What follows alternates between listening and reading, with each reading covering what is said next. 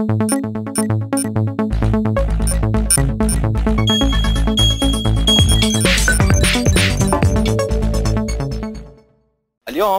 عندنا موضوع جدا مهم. زي ما إحنا شايفين والموضوع واضح جدا ولكن آه، نحن نتجاهله. ما نعرف ليش إيش السبب في تجاهل هذا الموضوع. هذا الموضوع مهم جدا وهو يعني ببساطة كده خلينا نقول إدارة حساب التداول بفعالية. يعني أنا عندي حساب يا إخوان والمفروض إني آه، مثلا نهاية السنة مثلا أكون ربحان. طيب خلال سنة كاملة أنت ماذا عليك أن تعمل حتى تخرج بربح من هذا السوق؟ أو من أسواق المال بصفة عامة وسنتكلم يعني الكلام هذا تسقط ممكن على أي سوق آه، على أي بورصة على أي على الأوبشن على السوق الأمريكي على السوق السعودي على الذهب على على أي سوق يا إخوان على أي بورصة ممكن تشتغل عليها. تمام؟ حنتكلم اليوم إن شاء الله عن إدارة حساب التداول بفعالية والكلام مهم جدا يا إخوان. يجب يجب أن نعي مدى يعني مدى مدى آه، عدم أو مدى تجاهلنا. يعني إحنا نتجاهل هذا الكلام بصورة غريبة. أنا ماني عارف إيش الأسباب اللي تخلينا نتجاهل هذا الكلام. أه بقول لك دليل على تجاهلنا لهذا الموضوع بالذات اللي هو موضوع إدارة الحساب. إذا كان عندي وقت فاضي يعني خليك معي فكر معي إذا كان عندي وقت فاضي وحبيت مثلا أفتح اليوتيوب وأبحث عن ما يفيدني في هذا السوق. أبحث عن استراتيجية أو أبحث عن معلومة قد تفيد معه عن مؤشرات أو أبغى أعرف كم مرة كتبت إدارة المخاطر في اليوتيوب أو كم مرة كتبت آه، إدارة حساب التداول أو كم مرة كتبت المخاطرة في هذا السوق أو من هذه الكلمات. أنا مستعد يا أخوان يعني مستعد أقول لك في في في ناس معانا موجودين ولا مرة كتبها. ولكن نحن نبحث في اليوتيوب وفي جوجل عن استراتيجيه الصقر الذهبية مثلا. استراتيجية البولينجر ها؟ الاستراتيجيه التي الاستراتيجيه التي لا تخسر. السر العظيم في أسواق المال. ما هذا هذا بحثنا. يعني هذا بعض يا إخوان يبحث عن هذه الكلمات. حتى يفكر إنه في سر في السوق. السر أنا بقول لك هو الآن السر هو إدارة حساب التداول بفعاليه اتفقنا يا إخوان؟ من هنا من هنا نشأت فكرة إنه إحنا متجاهلين هذا الكلام. لا وأحيانا يا إخوان يعني أنا لما أسوي مثلا تو توبك يعني موضوعين عن محاضرة معينة.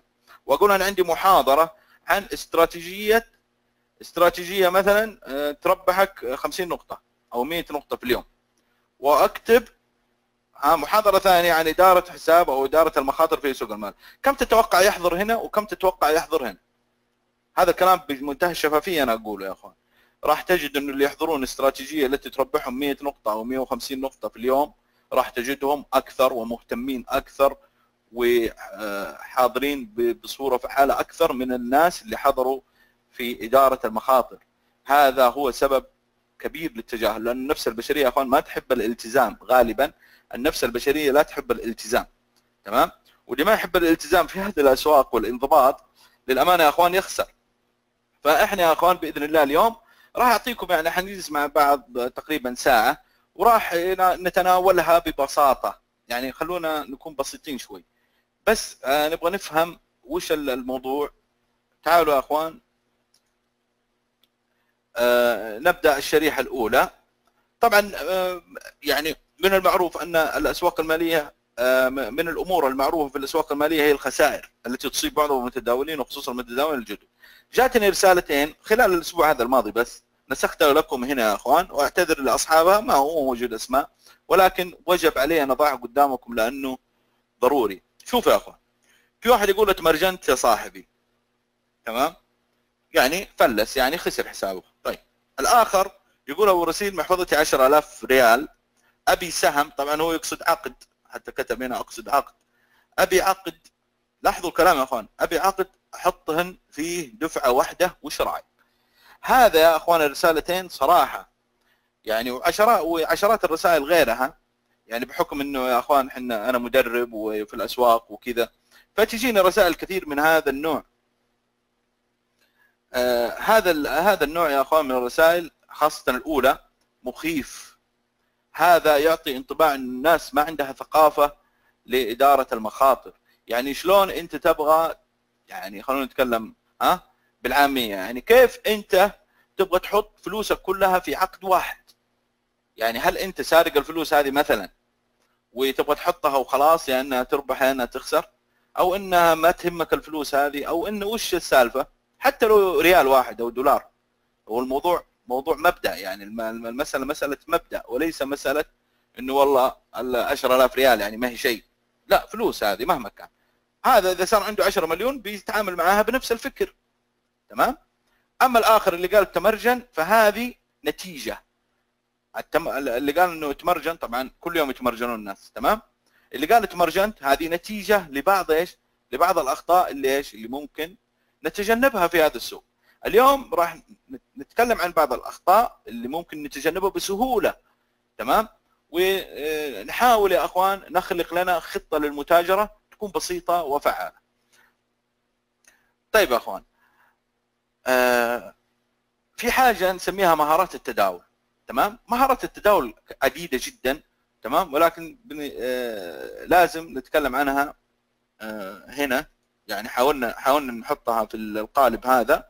أول شيء يا أخوان التحكم بالمخاطر تمام؟ التحكم بالمخاطر. يعني أنا الحين في سوق والسوق تقلباته كبيرة زي ما إحنا عارفين ومفاجآته عديدة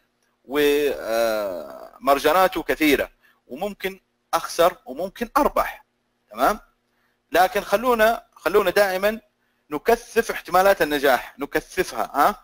نزود احتمالات النجاح بأي طريقة كانت نزودها ونقلل من احتمالات ليش من الاحتمالات اللي تخليني أخسر تمام؟ فعندنا أول عنصر هو التحكم بالمخاطرة راح نتكلم عليه بعد شوية. وعندنا جودة المخاطرة وجوده المتاجر عفوا. وعندنا وقف الخسارة مهم جدا وقف الخسارة يا أخوان. آه، في بعض الشباب مو مشغلين بوقف الخسارة للأسف الشديد طبعا وهذا سبب المرجنه طبعا عندنا الانضباط آه، الانضباط يا أخوان لازم تنضبط في السوق. يعني إذا إذا إذا عملت لك قوانين خاصة فيك أو خطة عمل خاصة فيك لازم أن تنضبط. إذا عملت لك تحكم في المخاطرة بطريقة معينة يجب أن أن تنضبط عليها تمام؟ يعني ما هو مثل الرجيم تمشي معاه ثلاث أيام وبعدين تخربها بالكبسة والاشياء هذه. لا حتى يعني أبسط الأشياء مثلا العمل يا أخوان عملك أنت اللي تداوم فيه إذا ما انضبطت راح تفصل راح تتمرجن يعني في الأخير راح تتمرجن من العمل إذا ما انضبطت في عملك راح تتمرجن وراح تنطرد من عملك. يعني أبسط الأشياء أنت مثلا مسوي آه، نظام غذائي ومشيت عليه أسبوع أربع أيام بعدين خربته تمرجنت وزنك زايد راح يزيد مثلا تمام؟ وأنت ماشي يعني الأمور تحتاج انضباط تمام؟ حتى العلاجات والأدوية إذا لم تنضبط فيها ما راح تستفيد منها راح تتمرجن. Okay؟ فأسواق الفوركس نفس الكلام. ليه ما ننضبط؟ لازم ننضبط عشان ما نتمرجن تمام؟ وراح نتكلم عن حاجة جديدة يا أخوان اسمها عجلة آه النجاح. طيب التحكم في المخاطره أو في المخاطره دائما ما توصف عملية المتاجرة في الأسواق المالية بكونها عالية المخاطره عالية المخاطرة. يعني دائما يا أخوان يقول لك الفوركس إيش اخلاق هذا عالي المخاطرة. وهذا نراه بعيدا جدا عن واقع هذا السوق. شوف للأسف يا أخوان إنه كلمة عالية المخاطرة ممكن أنا أقول لك بتفتح مغسله سيارات عالية المخاطرة لكن سوق الفوركس ما هو عالية المخاطرة. ليش يا أخوان؟ أي متاجر في الأسواق المالية وخصوصا العملات والسلع لديه تحكم كامل في مستويات المخاطرة فهو يحدد بالضبط وبدقة كبيرة كم يريد أن يخاطر في كل صفقة. يا أخوان عندنا سوق الحمد لله يعني الفوركس يعني انت تتحكم بال lot بال size حقك بالحجم. تتحكم في قديش راح اخسر بالدولار. وتتحكم في كل شيء. طيب ليش نسميه عالي المخاطرة؟ سؤال يا اخوان. يعني ليش تسميه عالي المخاطرة طالما انت عندك الاستطاعة انك إيش؟ انك تتحكم في هذه المخاطرة. طيب أقول لك شغلة. السوق هو يا اخوان؟ السوق عبارة عن تحركات الأسعار. تمام؟ ونحن نضارب على الفروقات السعرية بين هذه الأسعار وتقلبات السوق. نضارب. طيب من يحرك هذه؟ تمام؟ الأخبار الاقتصادية الأجندة اللي كل يوم نقراها في خبر في تمام؟ المضاربين ال market makers كلهم هذول يا أخوان أنت ما تقدر للأسف أنت ما تقدر تتحكم فيهم. يعني مثلا ال chart يا أخوان ال chart مثلا زي كذا ورجع اختبر وأنت تبغى تشتري. وحطيت خطك مثلا تبادل أدوار وتبغى تشتري من هنا. تمام؟ هل تضمن إنه بيصعد؟ لا ما تقدر تضمن. ممكن يعكس عليك تحت إيش المشكلة يعني؟ واحد يجيني يقول لي هذا X A B C وهذا D والثاني يقول لا هذه قمة اخترقها السعر وهذا القاع حقها اختبر أنا بشتري عشان يصعد يسوي لي قمة جديدة وهكذا. فكل واحد عنده إيش؟ عنده أفكار. أنت ما تقدر تضمن هذا ال chart أنت بس أنت بس تحاول إنك ترجح احتمالات ال buy ولا ال sell تمام؟ طيب الخبر مثلا آه، دراج يتكلم ولا أي أحد يتكلم يا أخوان تمام؟ هل تضمن إيش قاعد يقول؟ واذا ضمنت إيش قاعد يقول هل تضمن تحرك السوق فوق ولا تحت؟ ما تضمن ما ما تقدر تضمنها هذه كلها خارج نطاق إيش؟ خارج نطاق التحكم يعني أنت ما تقدر تتحكم فيها اطلاقا لا أحد يقول لي عندي استراتيجية 100% آه، عشان ما نتضارب. يعني هنا في الروم و... ويخرب الموضوع. فالموضوع يا أخوان خلونا واقعيين. خل... لازم تكون واقعي شوي. أنزل إلى أرض الواقع وناظر بعينك. شوف الأشياء اللي تقدر تتحكم فيها والأشياء اللي والله ما أقدر أتحكم فيها. قلنا الشارت وحركة الأسعار ما نقدر نتحكم فيها. الأخبار الاقتصادية والأخبار الطارئة و إلى آخره ما نقدر نتحكم. وش نقدر نتحكم فيه؟ تقدر تتحكم في مستويات المخاطرة. تمام؟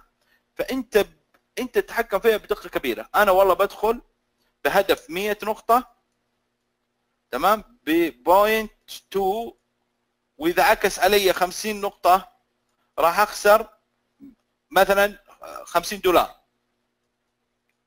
خلاص. أنت حاط وقت خسارتك هنا إذا نزل السوق يضربك 50 دولار. انتهى الموضوع يا أخوان. أنت قدرت تتحكم فيها. إذا طلع فوق وربحت مثلا تربح 100 دولار. أوكي. انتهى. تمام؟ فأنت تقدر تتحكم لكن مين اللي ما يقدر يتحكم؟ شوف أنا مضارب في السوق ماني منظر. أنا مضارب معاكم يا أخوان في السوق أنا لست منظر يعني قاعد أنظر عليكم. تدري إيش مشكلتنا يا أخوان؟ الطمع والخوف. تمام؟ السوق إذا صعد وربحنا أطمع. تمام؟ أطمع بربح أكبر. فأجلس في الصفقة فينزل علي ويضربني. هذه واحد. اثنين الخوف يا أخوان. كمان الخوف يا اخوان يخش على فكرة في الربح. يعني أنت مثلا صاعد السوق زي كذا وكسبان أنت 200 نقطة. فأنت مثلا تخاف إنها تروح تمام؟ فإيش تسوي مثلا؟ توقف خسارتك مع انه السوق رايح. فالخوف والطمع يا أخوان ترى تمام؟ موضوع كبير جدا. إحنا اليوم يا أخوان إن شاء الله راح آه، يعني نربط ها نربطهم إن شاء الله مع بعض كذا ونعقلهم وانتهى الموضوع. ونتخلص منهم بإذن الله. طيب. يجب لكل متاجر يا إخوان أن يكون له حاجة اسمها ال risk profile. يعني إيش ال risk profile؟ يعني لا تخاف من الكلمة الكلمة مرة سهلة. risk profile يا إخوان يعني آه، ورقة A4 ببساطة ها؟ ورقة A4 مكتوب واحد اثنين ثلاثة أربعة خمسة. وتكتب إيش؟ وتكتب مستوى تكتب خطة إيش؟ خطة المخاطرة اللي أنت ممكن تتقبلها والأرباح وال... وكل شيء تكتبه فيها تمام؟ وتحدد بعض المعايير الحين حنتعلمها تمام؟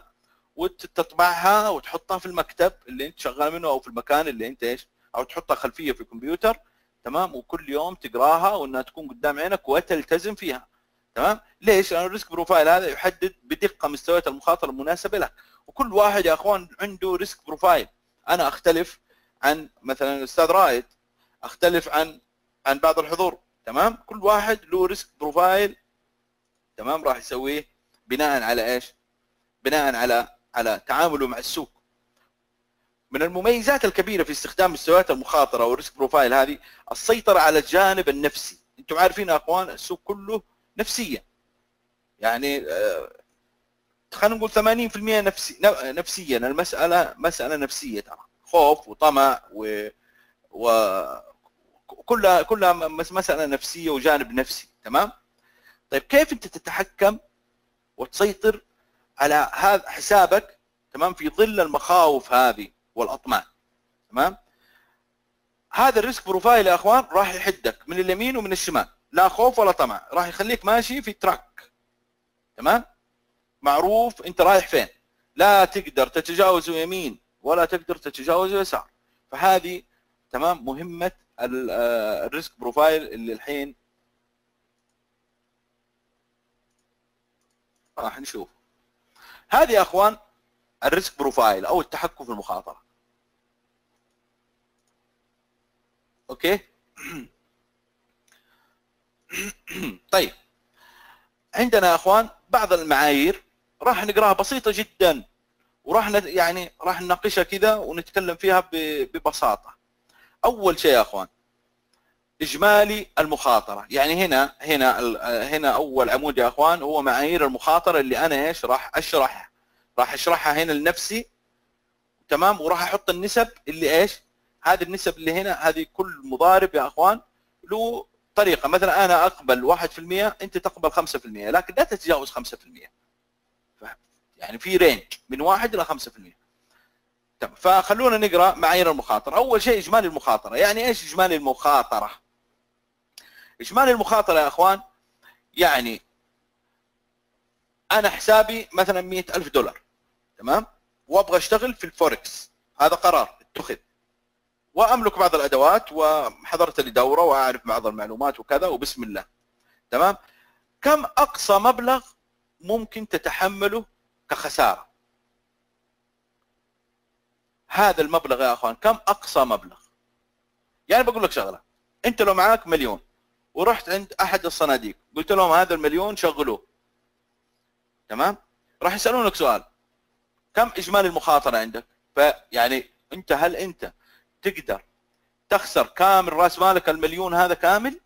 أو إنك عندك نسب معينة؟ وراح تقول لهم إيش؟ لا يا حبايبي اشتغلوا لي أنا أثق فيكم اشتغلوا لي تمام؟ بس إذا وصلت الخسائر 20% من رأس المال لو سمحتم رجعوا لي فلوسي تمام؟ فالسوق الفوركس سوق العملات نفس الكلام أو أسواق المال نفس الحكي. خذ أنا بشتغل معاك يا فوركس بس لو سمحت بحط 100000 دولار بس لو سمحت إذا خسرت أنا مثلا 25000 دولار أنا راح أسحب ما تبقى من هذا المال اللي هو 75000 تمام؟ وأروح أشوف يعني على قولة اخواننا المصريين ده السوق مش بتاعك تمام؟ هذا مو سوق مو سوقك. السوق اللي تخسر فيه 25 أو 20 إلى 25% هذا مو سوقك معلش يعني أنت ليش تكابر؟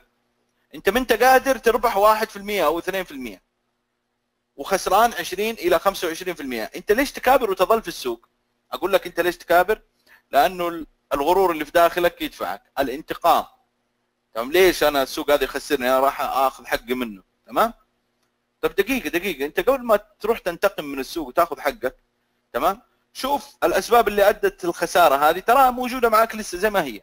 فأنت راجع السوق تنتقم ولا تعوض ولا ترجع رأس مالك اللي خسرته راح تخسر أكثر. لا وبشرك إنك راح تدخل في متاهة الجانب النفسي تمام؟ والضغط حتكون تحت الضغط وحيكون عندك مشاكل كثيرة في اتخاذ القرار. لأنه يا أخوان القاعدة المعروفة إنه لا تتخذ قرار وقت وقت الغضب أو لا تتخذ قرار وأنت تحت الضغط. اهدى صل على النبي واهدى وبعدين راجع أمورك بعدين اتخذ قرار. تمام؟ فإجمالي المخاطرة هنا هو المبلغ اللي ممكن تتحمله تمام في آه، في السوق. لكن إذا وصلت المبلغ هذا تسحب من السوق. يا أخوان أنا أوصيكم تمام أنا أوصيكم إذا دخلت برأس مال مثلا مثلا خلينا نقول 10000 دولار وخسرت منه 2000 إلى 2000 ونص وقف. وقف مباشرة السوق مش بتاعك. مو مو سوقك. طب تبغى تكابر تقول أبو رسيل هذا مو سوقك مو إيش دخلك أنت أنا بجلس في السوق. أنت حر. بس أنا أخوان المسألة مو مسألة إنه السوق حقنا ولا حقكم ولا أنت تمنعني ولا لا أنا أعطيك نصيحة. إنه يا أخوان إجمالي المخاطرة هذا مهم جدا. مهم مهم جدا جدا جدا. تمام؟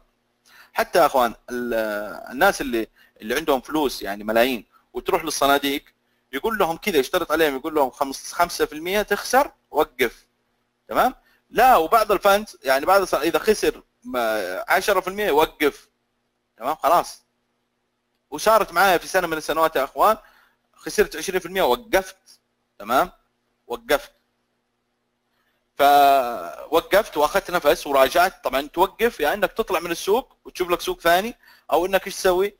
أو إنك تراجع أخطائك وتعدلها وتشوف وين الخلل وتعدله وبعد كذا ترجع السوق بعد ما تهدى طبعا براس مالك الجديد اللي هو مثلا خلينا نقول 8000 إذا خسرت 2000 من أصل 10 وتبدأ بسم الله آه، يعني ما دام إنك عدلت الخطأ هذا تحاول من جديد.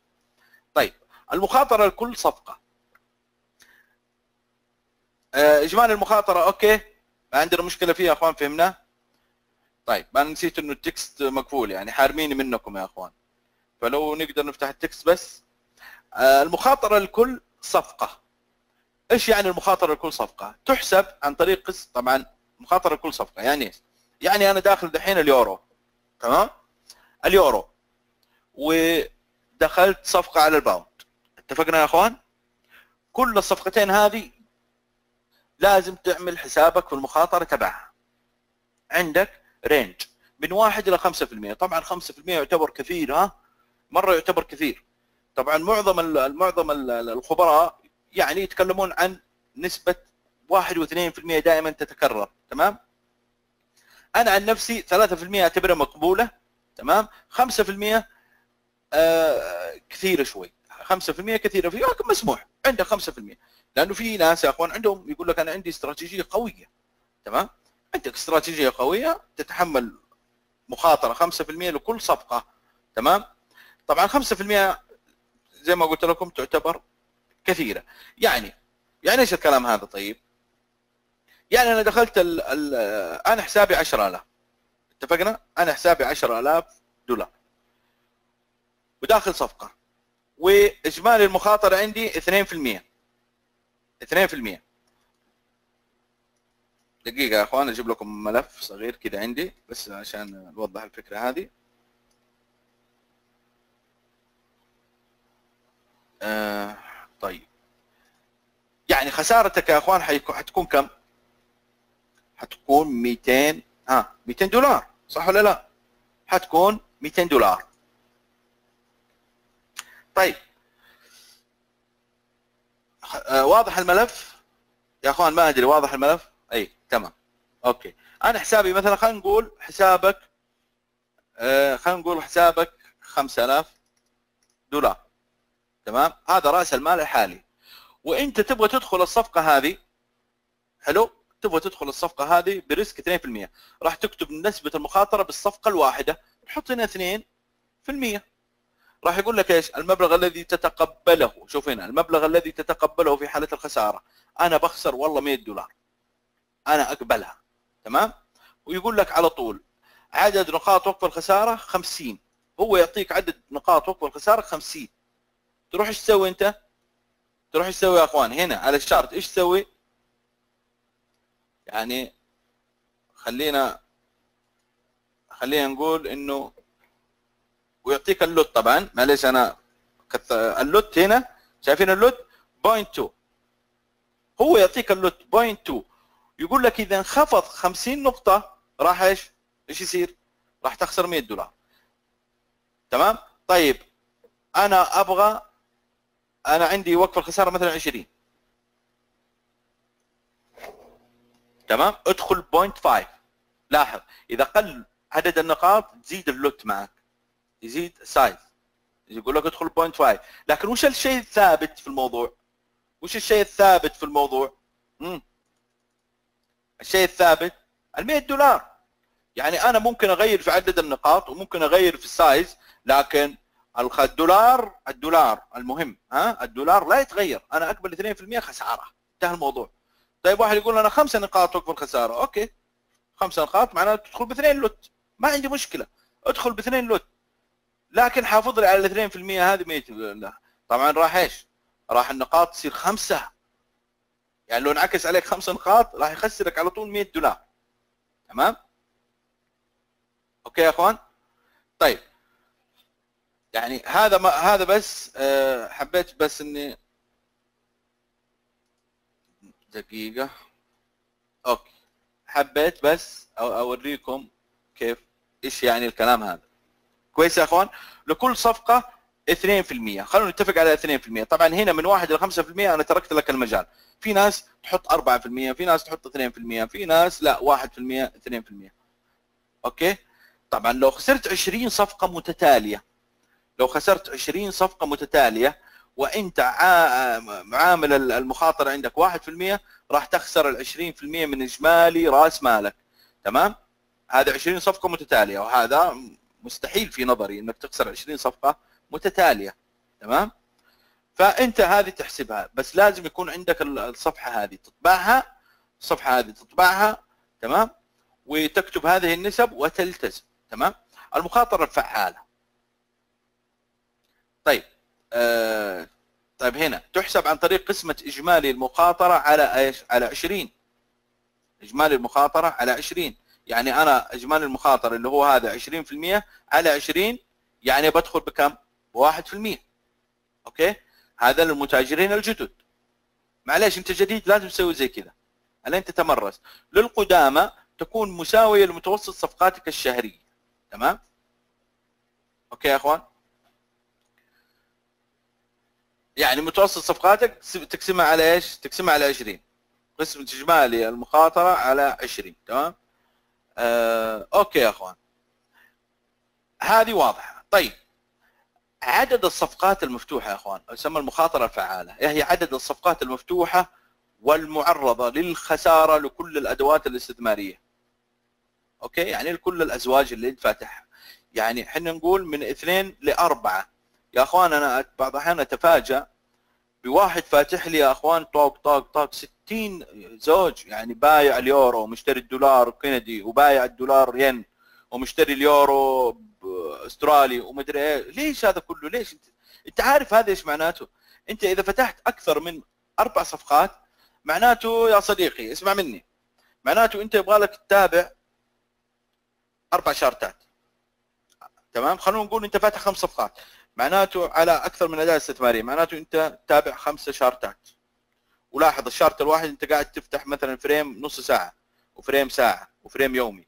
يعني لو بس تبغى تتابع ال frame ات يبغى لك 15 chart لأنك فاتح خمس صفقات على خمسه أزواج في ثلاثة frame ات عندك 15 chart لازم تنظر لها في نفس الوقت تراقبها okay؟ أو تتنقل بينها. طيب إيش المشكلة الثانية؟ إنه عندك خمسة أزواج مثلا وانت مثلا تتابع الأخبار الله يعينك الله يعينك. تتابع أخبار أستراليا وتتابع أخبار كندا وتتابع أخبار بريطانيا وتتابع أخبار ها؟ الله يعينك نقول تمام؟ تقول تتابع هذه كلها. لاحظ انت عندك خمسة stop loss وعندك خمسة take profit وعندك في واحد مثلا بتعمل له تتبع تتبع trailing stop مثلا والثاني لا تبغى تبغى تزود فيه تعزز مثلا تعزيز. التبريد طبعا راح نتكلم عنه ممنوع التبريد للمتاجرين الجدد ممنوع التبريد لأنه فلس واحد بسبب التبريد. تمام؟ وكثيرين فلسوا بسبب التبريد. فلا تبرد حاليا. okay؟ وقف الخسارة. فمن هنا نقول يا أخوان يجب عليك إنك تشتغل إيش؟ تأخذ لك من زوجين إلى أربع أزواج بالكثير maximum هذا إذا أنت نشيط وحالتك الصحية والنفسية كويسة تمام؟ ممكن إلى ثلاثة إلى أربعة عشان تقدر تتابعهم. تمام؟ مع الأخذ بعين الاعتبار درجة الارتباط بين المنتجات التي يتم التداول عليها. حاجة اسمها correlation ال correlation أو ال correlation filter الحين ممكن نشوفه. تمام؟ الارتباط يا أخوان. يعني إيش الارتباط؟ من يقول لي آه إذا صعد إذا صعد الدولار الذهب إيش يصير فيه؟ يصعد ولا ينزل؟ لازم تعرف الارتباط اللي بينهم طيب. النفط والكندي. دولار كندي والنفط. إيش يصير بينهم؟ يعني مو تروح تبيع الدولار كندي وفي نفس الوقت تبيع النفط. ما وش يعني تشتري النفط أقصد. يعني تبيع الدولار كندي وتشتري النفط. طيب وش الفائدة؟ ليه؟ لأنهم عكس بعض يا إخوان. هذا يصعد وهذا ينزل. طيب إذا أنت شريت هنا وبعت هنا إيش كأنك سويت؟ ولا شيء. ما كأنك سويت ولا شيء. كأنك أعطيت الشركة العمولة وانتهينا.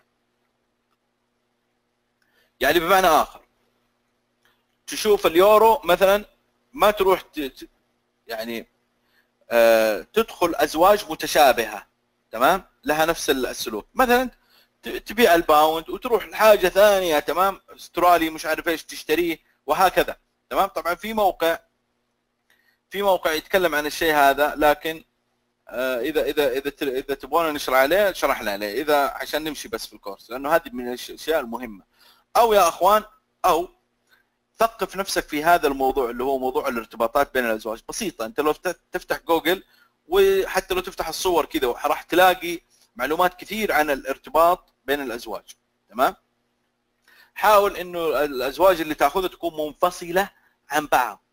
يعني مو إذا صعد واحد الثاني يصعد أو إذا صعد واحد الثاني ينزل. حاول لأنه إيش الفائدة؟ إنك تشتري واحد وتشتري معاه زوج آخر تمام؟ وإذا صعد هذا بيصعد الثاني. طيب خلاص اشتري في صفقه واحدة يعني. إيش. فاهم قصدي؟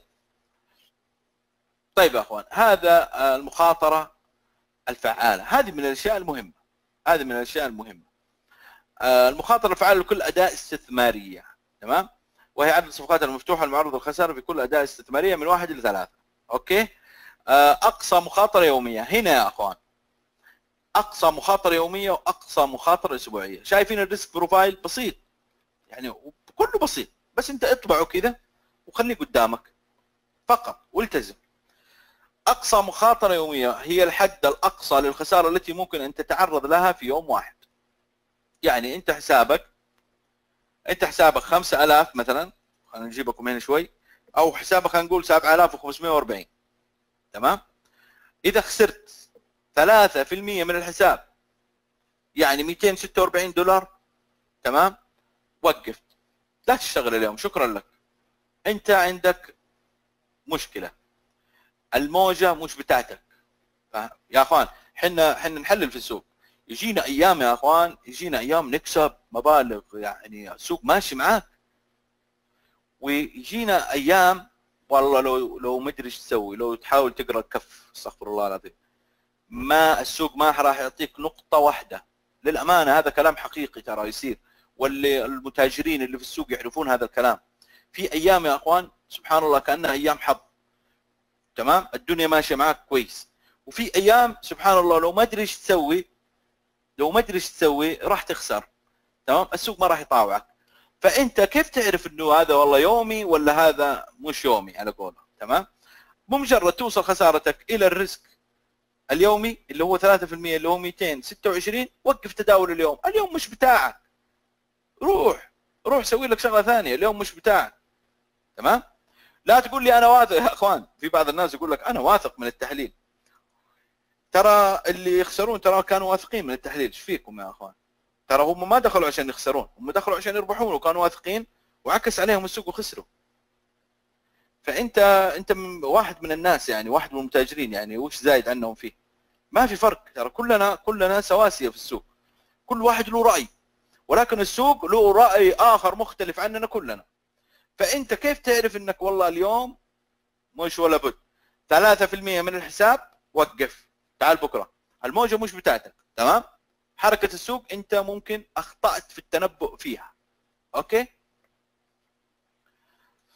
طيب. طيب الحد الأقصى للخسارة التي هذه أقصى مخاطرة أسبوعية يا أخوان. راح نتكلم عن الحين عن أقصى مخاطرة أسبوعية. هي الحد الأقصى للخسارة التي ممكن أن تتعرض لها في أسبوع واحد. وتكون ضعف أقصى مخاطرة يومية. تمام؟ في حالة الوصول له يجب أن تتوقف إلى نهاية الأسبوع.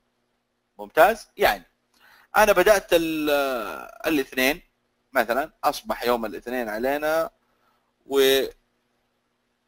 واشتغلت وخسرت 3% وقفت. يوم الثلاث جيت وخسرت 3% يا الله إيش فيه؟ في مشكلة. طيب الأربعاء كذا مثلا يا دوب خسرت 2% 3% وقف. خلاص إذا وصلت 10% من 8 إلى 10% يا إخوان. من 8 إلى 10% آسف.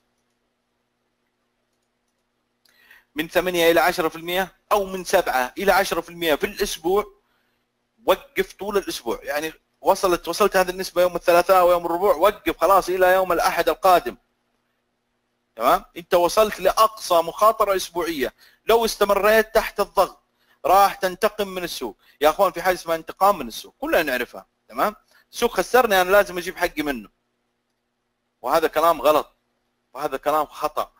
السوق يا أخوان إذا خسرك في اليوم 3% توقف عن العمل وتعال بكرة. اثنين السوق إذا خسرك 10% خلال الأسبوع توقف عن العمل. طبعا من 7 إلى 10% أوكي؟ توقف عن المضاربة توقف عن كل شيء وشوف لك شغلة ثانية. لا تقول لي لا تقول لي يعني يعني حتى لو بقول لك طريقة إنك يعني في بعض الناس عندهم هوس المضاربة أو جنون المضاربة أو حب وعشق هذا السوق اللي بس يبغى يضارب ويتواجد فيه. بسيطة يا أخوان اشتغل ديمو. حاول إنه الطاقة اللي عندك هذه الطاقة السلبية لأنك خسرت. أنت مو خسرت 7 إلى 10% وما تبغى يعني ما تبغى توقف. اشتغل على الديمو الله لا يهينك. حاول توزع طاقاتك السلبية هناك في الديمو ولا توزعها في رأس مالك الحقيقي عشان ما تخسر. إذا يا أخوان بهذا الأسلوب أنا تحكمت في المخاطرة. طبعا يا أخوان بالنسبة للملف هذا تمام؟ بالنسبة مثلا لهذا الملف هذا الملف يا أخوان ببساطة آه، طبعا أنا كتبت هنا هذه الآية الكريمة لأنها آه، طبعا تسقط على أي حاجة لأنه أنا مثلا قاعد أخسر فأنا أبغاك إيش؟ إن الله لا يغير ما بقوم حتى يغيروا ما بأنفسهم. يعني أنت قاعد تسوي شيء وتخسر تعمل طريقة معينة وتخسر وتعمل طريقة معينة وتخسر كل يوم قاعد تخسر. طيب يا أخي من الجنون إنك تسوي نفس الطريقة وتتوقع نتائج مثلا مختلفة. فلازم تغير الطريقة أو تغير ما في نفسك. تمام؟ غير الطريقة واستخدم هذا الجدول. ببساطة أنا حسابي اليوم 7800 مثلا. تمام؟ وداخل صفقتين. وعندي ريسك 2% لكل صفقة. كويس؟ بمجرد يا أخوان بمجرد آه، تحط طبعا 100 مثلا stop شوف كيف يقول لك ادخل point 16 تقول له 70 نقطة الوقف. يقول لك point 22 طيب الوقف يا أخوان الوقف. نحدده عن طريق إيش؟ الوقف. كيف تحدد الوقف؟ مم. لأنه اسمع لأنه أنت في بعض الشباب وقفهم يقول لك أنا ما ينعكس علي السوق كثير. خمسة نقاط إذا عكس علي أنا أعتبر الصفقة هذه يعني غير غير سليمة. فهو يستخدم مثلا ست نقاط زي كذا. فتلاقيه يدخل بلوت عالي جدا 2.6 بس بشرط تحافظ لي على الخسارة هذه ها؟ 156 دولار اللي هي 2% ادخل ب إن شاء الله ادخل ب 20 لوت. لكن المهم عندي إنك تحافظ لي على نسبة المخاطره بالصفقة الواحدة اللي هي 2% أوكي؟ اللي هي بالدولار 156 في حالة كان حسابك 7800 اتفقنا؟ يعني هذا يخليك يخليك تتفاهم مع مع السوق. طيب كيف كيف أحدد وقف الخسارة. مثلا خلينا نقول 50 كيف نحدد وقف الخسارة؟ خلوني أعطيكم حاجة إذا قدرتوا تكتبوها معايا. إذا سمحتم يا إخوان. يعني أنت مضاربة يومية. المضاربة اليومية يا إخوان عندك من 30 ل 50 نقطة. المضاربة أقصى أقصى مضار أقصى stop loss تمام؟ في المضاربة اليومية. من 30 إلى 50 نقطة. تمام؟ هذا scalper طيب المتوسطة يا إخوان اللي هي من يوم لأسبوعين لثلاثة أسابيع أو لأسبوعين من يوم لأسبوعين لثلاثة أسابيع. الوقف يكون بالكثير 100 نقطة. وقفك يا إخوان 100 نقطة. أنا داخل الزوج هذا 100 نقطة أحط كذا 100 نقطة. شوف لاحظ أنا محافظ على إيش؟ ال 156 دي. حطيت 100 نقطة. طيب أنا شايف إنه الزوج هذا ممكن يتحرك على المدى المتوسط. تمام؟ من يوم إلى لأسبوعين. وقف الخسارة بالكثير 100 بالكثير. بالكثير 100 عندك من 50 ل 100 الهدف طيب الهدف يجب أن يكون أقل شيء 200 نقطة. تمام؟ أقل حاجة 200 إلى 300 نقطة هدفك. يعني إذا كان وقفك 100 أهدافك 200 وفوق وأنت طالع. 200 250 نقطة 300 نقطة. الحين حنيجي عليها في جودة الصفقة تمام؟ 400 نقطة. ممتاز؟ طيب إذا كنت أنت مثلا آه، مدى بعيد يعني مضارب على المدى البعيد حلو؟ إيش تبغى تسوي؟ على طول وقف خسارتك من 150 ل 200 نقطة لاحظ. لكن هدفك أقل شيء 300 نقطة. يعني لو بدخل الصفقة أنا مثلا بدخل يورو دولار بيع أوكي؟ وأنا شايف إنه اليورو دولار في قمة مثلا. و وفي 500 نقطة هبوط مثلا. في 500 نقطة هبوط بس ما أبغى أبغى أبغى على مدى شهر ما عندي مشكلة أو شهرين. وأحقق ال 500 نقطة هذه ما عندي مشكلة. فإيش تبغى تسوي؟ على طول وقف خسارتك. وقف خسارتك كم؟ 150 150 200 نقطة ما عندك مشكلة. تمام؟ لكن بشرط. أهو 200 نقطة. شوف بكم بتدخل اللوت. 0.08 تمام؟ اي لازم. وهدفك إن شاء الله كم؟ 500 نقطة. حلو يا أخوان؟ هدفك 500 نقطة. اذا بهذا الأسلوب ملف بسيط جدا ممكن تلعب فيه زي ما أنا قاعد أحرك الأشياء هذه. تمام؟ أهم شيء ثبت لي ال 2% طيب أنا مثلا مغامر أبغى 4% okay. 4% معناته أنت تتقبل خسارة 312 لكل صفقة. اتفقنا؟ انت قاعد تتقبل 312 خسارة لكل صفقة. طيب. اذا هذا هو آه، التحكم بالمخاطرة وهذا هو ال risk profile. تمام؟ النسب هذه النسبة حددها. اللي المهمة إجمالي المخاطرة هذه من 20 ل 25 لا تتجاوزها. يعني خلاص أنت كل ما تخسر 20 إلى 25 توقف وشوف إيش الأسباب اللي خلتك تخسر. أوكي؟ الصفقة الواحدة المخاطره لكل صفقة من 1 إلى 5% تمام؟ يعني 2% زي قبل شوي 4% 3% ما عندك مشكلة. المخاطره الفعالة عدد الصفقات المفتوحة للمراكز من واحد إلى ثلاثة يا أخوان. هنا مثلا عدد الصفقات المفتوحة المعرضه للخساره في كل اداه استثمارية من واحد إلى ثلاثة. عندي أهم شيء أقصى مخاطرة يومية. هذه وهذه الثنتين الأخيرة مهمة جدا. وتكاد تكون محور الحديث. تكاد أن تكون هي محور الحديث. انك خلاص إذا حققت خسارة 3% وقف اليوم. ليش؟ أنا أبغى أحميك وابغى أبغى أحميك من إيش؟ من نفسك من ظلم النفس. لأنه يا أخوان أنت اذا إذا خسرت تراك تدخل في في حالة نفسية تمام؟ إنه أنا ليش خسرت؟ وأنا أبغى أعوض. طيب أنا أبغى أعوض أفتح الجهاز وأشوف لي أي صفقة. تمام؟ أشتري فأزيد أخسر أكثر فتصل خسارتك مثلا 6% فتتوتر أكثر تطلع عن طورك تبدأ تخسر الحساب.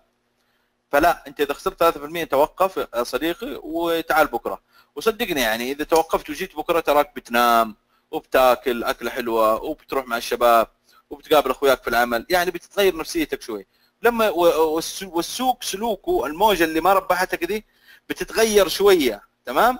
فأنت راجع للسوق ب بصورة جديدة وبشكل جديد تمام؟ ممكن تتخذ قرار في في في أبشع الاحتمالات توقفك ورجوعك اليوم الثاني هو أفضل. هذا في اسوء الاحتمالات. والحد الخس... حد الأقصى للخسارة في الأسبوع 10% وتتوقف وتشوف أنت إيش قاعد تسوي. آه طيب. عندنا يا إخوان هنا حاجة. طبعا من أهم الأشياء المتاجرة بجودة عالية. حاجة اسمها يا أخوان الريشيو. الريشيو مهم جدا وفي ناس كثير ماني عارف هي ما فتحت أكسل أعتقد. لازم تفتح أكسل وتشوف الكلام هذا كيف عشان تقتنع عشان تدرك ها؟ يعني أنا بشرح لكم الحين لكن أبيك تفتح أكسل وتطبق الكلام هذا عشان تدرك هذا الكلام اللي قاعدين نقوله. يعني إيش المتاجر بجودة عالية يا أخوان؟ آه، طبعا آه، المتاجر بجودة عالية هي إنك إذا دخلت صفقة أو صفقاتك يا أخوان مثلا أنت بتسوي 10 صفقات أوكي؟ العشر الصفقات هذه قول أنت مثلا يعني محلل شوي ها يعني أو إنك يعني قراءتك للسوق متوسطة. خلينا نقول خمس صفقات ناجحة تمام؟ خلينا نقول خمس صفقات ناجحة وخمس صفقات خاسرة. طيب يا أخوان خلونا نجي هنا اللي في النص هذا. هذا خلونا نبدأ بهذا. أنت عندك خمس صفقات خمسه صفقات آه خمس صفقات ها؟ خمس صفقات خاسرة. وعندك خمس صفقات ما شاء الله حققت الهدف. وكان في كل مرة هدفك تمام؟ هدفك 100 نقطة في كل مرة. يعني إذا نزل السوق ضربك 100 نقطة وإذا صعد ضربك 100 ومثبت اللوت. أنت كذا النتيجة صفر يا أخوان. النتيجة صفر. فأنت واحد إلى واحد وعندك خمس صفقات كسبانة وخمس صفقات خسرانة فالنتيجة راح تكون صفر. راس مالك زي ما هو ما تغير. طيب متى يبدأ يتغير راس مالك؟ ها آه. إذا كان إذا كان مقدار الربح الذي يتوقعه المتداول مقارنة مع مقدار محدد من المخاطرة في صفقة معينة. يعني يا أخوان إذا أنت تربح هنا 2 مقابل 1 يعني إيش 2 مقابل 1 يعني أنا أربح 100 نقطة مقابل صفقة يعني ربحت أنا 100 نقطة في الصفقة هذه. وإذا خسرت صفقة ثانية أبى أخسر 50 فقط. طيب فتخيل معي خلونا نقرأ المثال هذا عليها. فاهمين يا أخوان ولا عيده وصلت؟ وصلت ولا عيدها طيب خلوني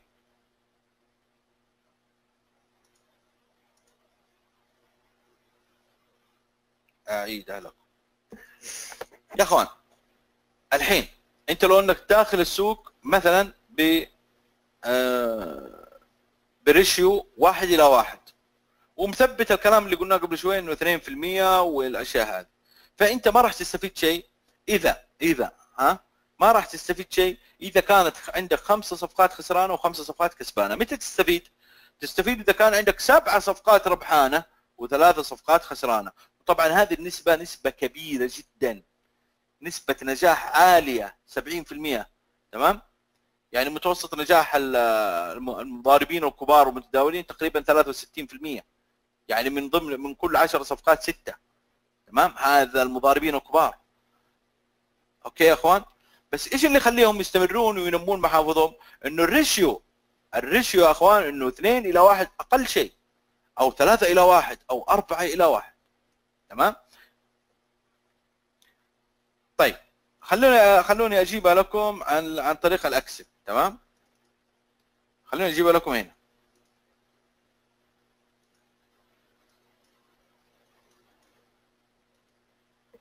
كويس؟ أنت خسران آه مثلا خلونا معلش كده شوية.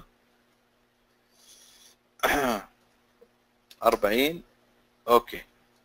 أنت عندك خمس صفقات خسرانة وعندك خمس صفقات هنا ربحانة تمام؟ طيب أنت هنا هذا واحد هذا واحد إلى واحد. واحد إلى واحد. طيب واحد إلى واحد يعني إيش؟ يعني أنا كسبان 100 100 نقطة. 100 100 100 100 واحد اثنين ثلاثة أربعة خمسة. هذه كم مجموعة يا أخوان؟ 500 أوكي. طيب انت هذه هذه ها انت رب انت خاسرة انت خسرت هذه انت خسرت هذه. وهنا اللي بالأخضر يلا اللي بالأخضر انت كسبان. كسبت 100 نقطة وهنا 100 ما شاء الله وهنا 100 وهنا 100 وهنا 100 وصار المجموع 500 طيب انت إيش كسبان كذا؟ هذه واحد يا أخوان هذه واحد واحد إلى واحد. تمام؟ طيب متى متى تصير متى تصير كسبان شوي؟ خلينا نقول دقيقة بس هذا فاهم غلط تمام؟ اثنين أرباح ها لاحظ معي اثنين أرباح إلى واحد خسائر اثنين أرباح إلى واحد خسائر يعني هنا خلونا نقول أنت كسبان خمس صفقات 200 ويلا هنا 200 وهنا 200 وهنا 200 وهنا 200 راح يصير كم يا اخوان؟ مم. خمسة راح انت كسبان 1000 دولار 1000 نقطة ممتاز يا اخوان فهمتوها دي؟ طيب لما يكون ثلاثة إلى واحد مم. لما يكون ثلاثة إلى واحد هنا 300 300 برضه 305 ب 15000 15 ب 15 نقطة أو 1500 نقطة. تمام يا أخوان؟ فأنت إيش تسوي؟ طيب الحين الحين هذه ال... الحين هنا النسبة واحد إلى واحد. 200 دولار ضرب أربع صفقات ناجحة. هذا المثال اللي هنا موجود. تمام؟ راح يوضح لك العملية. عندك 200 دولار النسبة واحد إلى واحد 200 دولار. ضرب أربع صفقات ناجحة. تمام؟ ناقص 200 دولار ضرب ست صفقات خاسرة. يعني إيش الكلام؟ يعني أنت عندك ست صفقات قاعدة تخسر. وكل صفقة أنت خسران فيها 200 يعني كم؟ يعني 1200 طيب حلو. أنا خسران. أنا خسران هنا 1200 وهنا في الربح 200 دولار قاعد أربح في أربع صفقات يعني 800 نقص هذا من هذا يطلع الخسارة كم؟ 400 طيب خلينا ناخذ النسبة 2 إلى 1 أنت قاعد تربح 400 دولار في أربع صفقات. تمام؟ هذه ب 1000 مثلا ب 1600 ناقصا عندك 200 دولار اللي هي هنا 2 إلى 1 الآن بس قاعد تخسر عدد صفقات أكبر. تخيل أنت قاعد تخسر ست صفقات وتربح أربع صفقات لكن الريشيو مختلف. فهنا يطلع ربح 400 دولار اللي هو كم يا أخوان؟ 400 دولار. كيف طلعت؟ 400 في 4 ب 1600 دولار ربح. ناقص 1200 دولار خسارة يطلع ربح 400 دولار على الرغم ها؟ أو بالرغم من إنك خسران ست صفقات.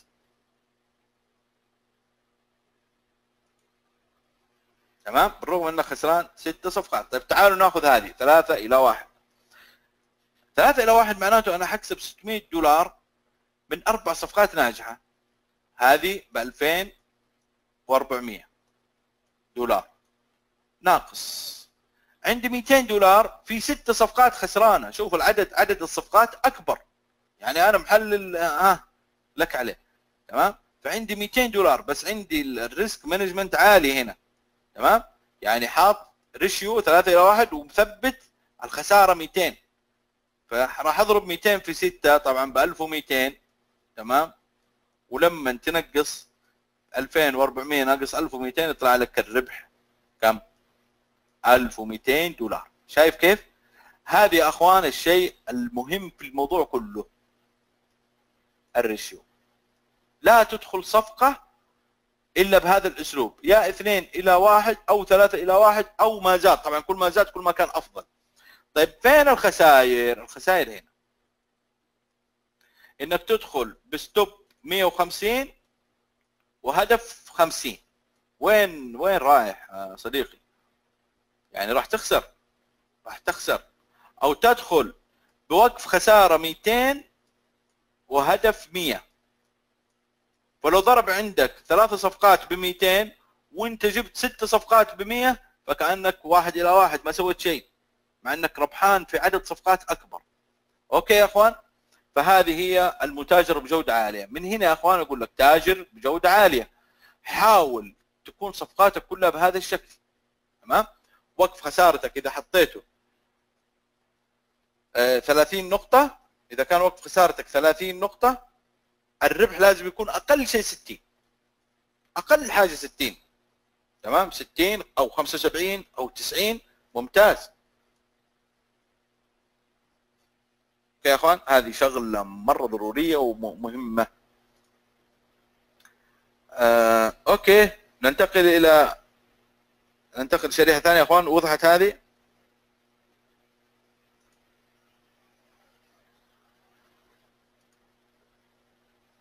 okay. هنا. آه. اقطع خسائرك ولاحق أرباحك. استخدم وقف الخسارة. يا أخوان وقف الخسارة هذا ترى ترى مهم جدا نستخدمه لأنه إيش بيسوي؟ بيحمي حسابي. يعني انت إيش يعني أنا مره يا اخوان زمان كان عندي حساب صغير وأنا اتعلم فوركس. فقاعد اتعلم وقف الخسارة وقاعد اتعلم هذا والاشياء ذي يعني زمان الكلام هذا. فجاء خبر على الزوج اللي أنا اشتريت زوج ونسيت أحط وقف الخسارة. مو لشيء يعني أنا ما تكبرت وهذا قاعد اطبق قاعد ادرس واطبق. فنسيت احطه وقف الخسارة نسيت. ما صار يعني عناد لا أنا نسيت. أه صحيت الصباح لقيت حسابي متمرجن. يوم جيت الأثاري في خبر وطلع الخبر وعكس الزوج علي وضرب الوقف الخسارة بعدين راح في طريقه يعني راح في الاتجاه اللي أنا معطيه. بس تعال تعال هنا وش صار؟ صار إنه ضرب وقف الخسارة. أنت ما تضمن السوق ولا تضمن تحركاته. آه، مو ضرب وقف الخسارة ضرب الحساب كله. فأنت لو حطيت وقف الخسارة هو راح يضرب وقف الخسارة ال 200 دولار ال 300 دولار. على فكرة هذه أمثلة. ممكن حسابك يكون 100000 يكون وقف الخسارة عندك 1000 دولار مع 1% بس هذه أمثلة يا أخوان حتى آه، يعني نقرب الصورة شوي. فاستخدم وقف الخسارة واستخدام وقف الخسارة يعني ليس أمر اختياري. هذا ضروري تسويه لأنه يحمي حسابك ويمنع خسائرك من الزيادة. إلغاء في أي لحظة تقوم بإلغاء وقف الخسارة فهي إشارة إلى اقتراب ضربة قوية للحساب لذلك تقبل الخسائر فكلها محسوبه ومخطط لها. تمام؟ أنت إذا ما تحط وقف خسارة في واحد معانا موجود. آه بدون ذكر أسماء بدون شيء. آه أمس آه ضرب عليه وقف ضرب عليه الحساب بسبب إنه ما حط وقف خسارة. سألته إيش السبب؟ بطريقة مباشرة كذا ما هو سبب المرجنة؟ قال ما حطيت وقف خسارة. أوكي؟ انتهى الموضوع بالنسبة لي أنا. إيش السبب؟ ولا تروح لا تدور لا الاستراتيجيه اللي هو شغال عليها ولا ولا خطة العمل ولا ولا أي حاجة. خلاص هو عنده مشكلة هنا. هو ما حط وقف خسارة. تمام؟ عشان كذا ضرب الحساب. هذا هذا هذا نتيجة واضحة لاسلوب لسلوك معين. طيب. طبعا لما سألته لما سألته ليش؟ نرجع للمشكلة اللي كلنا على ال chart هنا. آه خلونا نفتح اليورو دولار.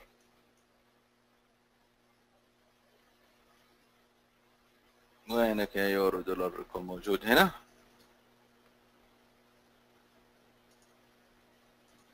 آه okay okay okay. هذا فين راح اليورو دولار أنا هرب.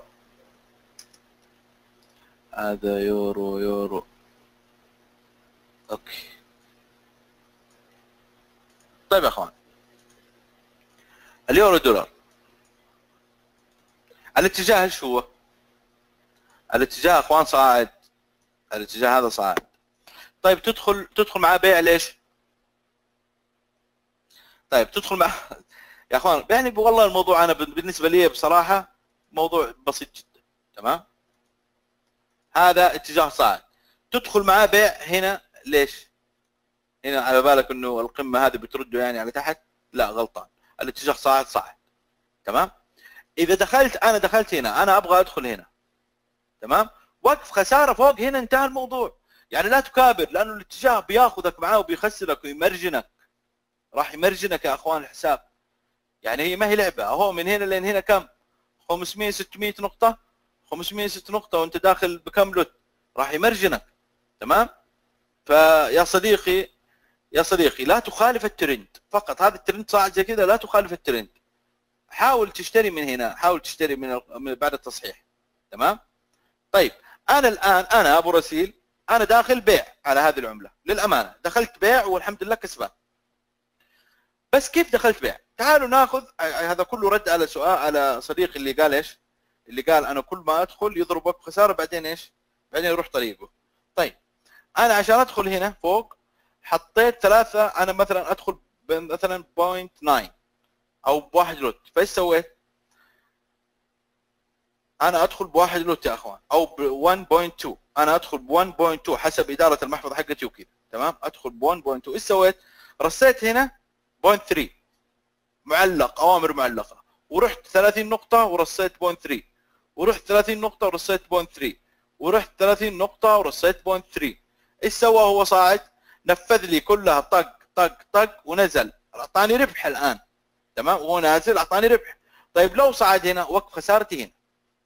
وقف خسارتي للثلاثه هذه هنا يعني إيش يا أخوان ال lot اللي أنت تبغى تدخل فيه دائما وهو ال risk في ال risk profile تبعك اللي هو مثلا أنا اتقبل خساره 5% أو 4% كل 4% تقسمها هنا 1% 1% 1% وكل الخسائر حقتها تكون هنا بكم؟ ب 4% من من الحساب اتفقنا يا أخوان؟ يعكس عليك اليورو ضربك 4% راح معاك اليورو كذا إيش تسوي؟ هنا يا أخوان لاحق أرباحك. خلاص لاحق الأرباح واقطع وقف الخساره عكس عليك هنا اقطع وقف الخساره تمام؟ يعني لو لو افترضنا لو افترضنا إنك دخلت حطيت كذا خطك وقلت والله أنا بدخل بيع هنا مثلا. طيب إذا دخلت بيع هنا مثلا عشان القمة هذه أنت متوقع إنه يوصل القمة هذه وينزل مثلا. تمام؟ طيب هو ما نزل صعد. خلاص تجلس معاه؟ يا حبيبي يا أخويا يا صديقي تجلس معاه خلاص يصعد زي كذا تجلس معاه طيب إلى متى؟ الليل تتمرجن صح؟ طيب ليش كذا؟ ليش كذا؟ أنا بقول لك ليش أنت جلست معاه؟ أنت ما تبغى تجلس معاه لين تتمرجن أنت في بالك إنه بيصعد شوية كذا بعدين يعكس ويمشي على تحت وهذا الكلام غلط لا تتعامل مع السوق على هواك تمام لا تتعامل مع السوق على هواك تعامل مع السوق يا أخوان بمنطقية أنا أبغى أدخل هنا بيع. أبيع هنا هنا وهنا وهنا أوزع اللوت تبعي إلى أربع أقسام ثلاث أقسام وأرص عشان ما يضرب عليك وقف الخسارة. تمام؟ ترص 30 نقطة 30 نقطة 30 نقطة 30 نقطة وتخليه ينفذ لك. بعدين إذا ما طاوعك ضرب وقف الخسارة عليك خلاص وقف الخسارة. هذا شيء مفروغ منه. 4% 3% انتهينا. لكن إذا مشى معاك يعطيك ربح. على طول إيش تسوي؟ تحاول إنك take profit أو إنك يا أخوان تعمل trailing stop تمام؟ تتبع الوقف الخسارة والجني الأرباح والتأمن على صفقاتك. تمام يا أخوان؟ طيب برضو ولكن يجب أيضا أن تحمي أرباحك حتى لا تتحول الصفقات إلى الرابحة إلى خسارة. يعني إيش الكلام هذا؟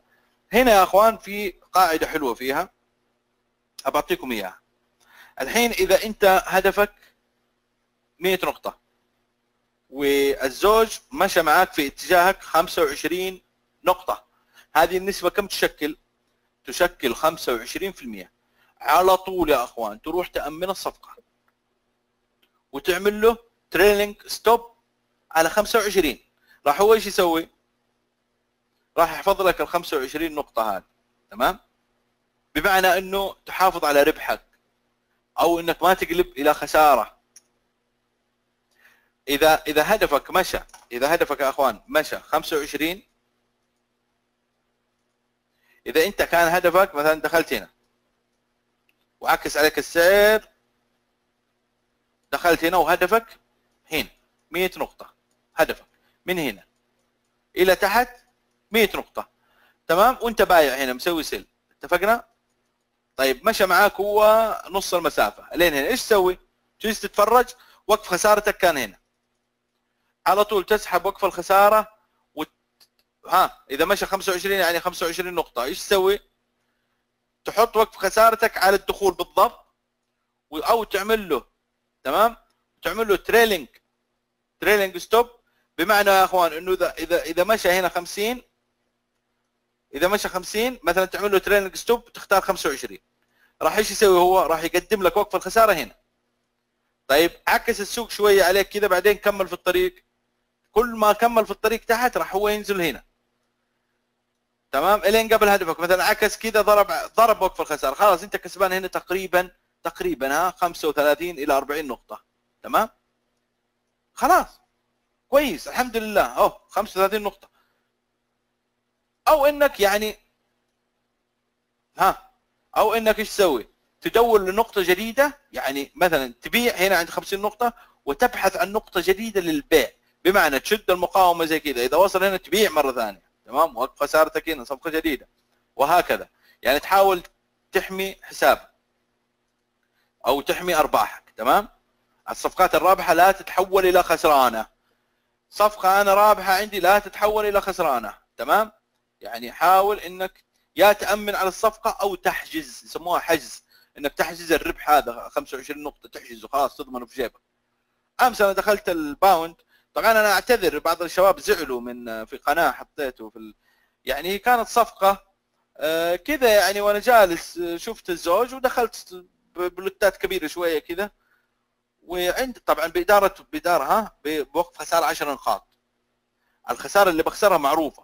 مثلا 300 دولار هذه الخسارة. إن شاء الله تدخل ب 20 lot. بس لما يعكس عليك نقطة أو نقطتين أو 10 أو 100 تخسر 300 دولار فقط. تمام؟ فأنا دخلت ب lot عالي. على بالي إنه ما ما راح ينعكس. وفعلا الحمد لله صعد ما عكس. فحطيتها في ال group. فواحد يعني أكثر من شخص صراحة لاموني قالوا أبو رسيل يعني أنت قاعد تستعرض. والله مو استعرض بس أنا يا أخوان قاعد آه، يعني أول شيء هرمون السعادة كان مرتفع شوي. بعدين كان في فكرة صراحة كان في ثلاثة شموع تحليل فني كان في ثلاثة شموع زخم واخترقت الترند زي كذا. فحبيت آه، يعني كمان أحطها معلومة إنه إذا شفت الترند اخترق بزخم شموع ادخل معاه وإن شاء الله إيش يصعد فوق. آه، فقط يعني هذا كانت بحسن نيه كذا وب خلينا نقول ب... بدون تفكير مني. وسبحان الله الناس ما ترحم يا أخوان على طول لاموني يعني. سبحان الله. شيء غريب. عموما ما تتكرر إن شاء الله. فأنت إيش؟ طيب يوم صعد الباوند أمس الباوند ين صعد. أنا كان عندي هدف. أنت عارف إنه حقق الهدف وصعد فوق والآن هو هنا. بس ماني زعلان. أنا عندي target يا أخوان. انتهى الموضوع. ليش أزعل؟ أنا كان أقدر أدخل مرة ثانية بعد العلم بعد العلم اللي سواه نقطة دخول ثانية. تمام؟ لكن الصفقة الأولى خلاص حققت ال target حقتي وانتهى الموضوع. تمام؟ ورضيت بالربح أو الخساره لازم ترضى فيها. طيب أخوان عشان ما نطول عليكم آه الانضباط يا أخوان. خلونا يعني نتكلم عن الانضباط كذا بسرعة. نقول امتنع عن المتاجره في الظروف والأوقات الغير ملائمة. تمام؟ وينصح بالابتعاد عن التداول في بعض الأوقات التي تشعر بها بأنك تتحدى السوق لتعويض الخسارة. يعني اللي هي سالفة الانتقام. إن السوق خسرك تبغى تنتقم. ابتعد عن السوق. تحليل العملات ومتابعة الأسعار تطلب الكثير من الوقت والجهد الفكري والصبر وانتظار الفرصة المناسبة للدخول. لذلك حينما تشعر بأنك تتداول بغرض الانتقام والسعي لتعويض ما خسرته من أموال فمن المفضل أن تترك التداول لبعض الوقت حتى تهدأ أعصابك للتداول بشكل صحيح. تكلمنا عنها محاولة التعويض بشكل سريع تتسبب في خسارة أكبر عادة. لذلك يفضل التريث وهدوء الأعصاب حتى تتخذ القرار السليم بالدخول في الصفقة. لا تتاجر وأنت مريض. شوف كلمة وأنت مريض هذه آه، أو في حالة نفسية أو فكرية غير طبيعية. يعني مثلا متزاعل مع المدام ها متزاعل مع أحد أخوانك عندك ضغط في العمل عندك آه، لأي سبب زعلان متوتر لا تشتغل. والله قراراتك راح تطلع غلط. أنا في السوق في قبل سنتين أو ثلاثة تقريبا كنت مريض مزكم عندي إنفلونزا. فكنت كانت المناديل جنبي كرتونين أو ثلاثة كراتين ما أفتكر. فكنت مرة قاعد أرش يعني من خشمي وعيوني دموع وكذا وقاعد أتداول. وقدامي أربع شاشات وقاعد أتداول. ملاحظ؟ خسرت آه، مبلغ كبير. طبعا في الأوبشن. خسرت مبلغ كبير كبير يعني تقريبا حوالي 50 ألف دولار آه، بسبب الإنفلونزا. طيب ليه؟ روح نام يا ابن الحلال يعني وش الله حادك فيه؟ يعني روح ارتاح روح استريح. لا أنا قاعد أتداول. فهذا شيء غلط. الامانه هذا شيء صار لي أنا موقف صار لي أنا. خسرت في صفقتين أو ثلاثة خمسين ألف دولار بسبب إني مريض وإنفلونزا وعيوني تدمع. تخيل واربع شاشات. يعني مأساة. يعني ماني عارف ليه. فهذا أحد الدروس اللي أنا أخذتها في حياتي. بس سبحان الله إحنا يا إخوان يعني ما نتعلم لين ننقرص. دحين إذا مرضت إن شاء الله كحة أرتاح. ما اتداول ولا شيء. ليه؟ لأني إيش؟ لأني آه يعني انضربت. انضربت. آه الخسارة في المتاجرة أمر طبيعي. شباب في بعض الأخوان يعني يقول لك ها برازيل انضربت وقف الخسارة عليه. فلان الفلاني انضرب وقف الخسارة. فلان الفلاني عكس عليه وخير يا طير. وش المشكلة طيب؟ يعني ماني فاهم إيش اللي مزعلك أنت؟ مو طبيعي طيب هو هذا الطبيعي اللي يصير. يعني مو اللي الطبيعي إنك تخسر دائما الطبيعي إنه لازم يكون هناك في خسارة. لكن نعوض هذه الخسارة بال ratio بجودة المتاجرة. ال ratio يا أخوان اللي هي ثلاثة إلى واحد اثنين إلى واحد. مو أروح إيش؟ مو أروح ريشيو واحد إلى واحد أو تكون صفقاتي تعبانة من ناحية الريشيو وفي خسائر. آه، يعني خسائر ورا بعض أو خسائر كبيرة وأقول هذا طبيعي. لا طبعا. الطبيعي إنه في صفقة صفقتين ثلاث تضرب بس إذا ضربت لا تخسر شيء كثير. تمام يا أخوان؟ اتفقنا؟ آه طيب. ولازم برضو يا أخوان تكون عندك قابلية للخسارة. في بعض الناس ما يقبل الخسارة. لا يا صديقي.